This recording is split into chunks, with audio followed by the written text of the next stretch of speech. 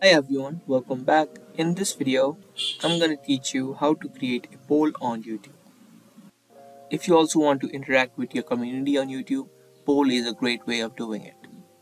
Now the way that you create it is first you come over to your channel of YouTube and then on the top you can see a couple of tabs.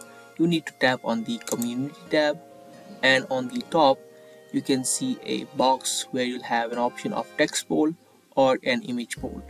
You can do either, but for now I'm going to show you a text poll. If you click on it, you can now type in any question that you want to ask or anything that you want to add and interact with your community. After you type in question, you can now add in options.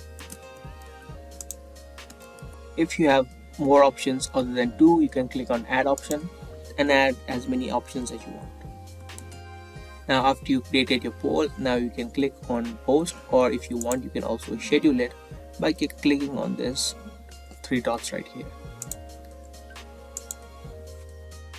and there you go you can see that the poll is now posted now whenever someone clicks on any of these options the results will be shown exactly here I hope this video helped you out. If it did, subscribe, share and give this video a thumbs up.